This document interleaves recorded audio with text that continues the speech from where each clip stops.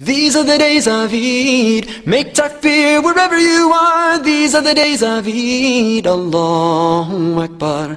These are the days of Eid. Sing together everyone. La ilaha illallah wa lillahil. Allah.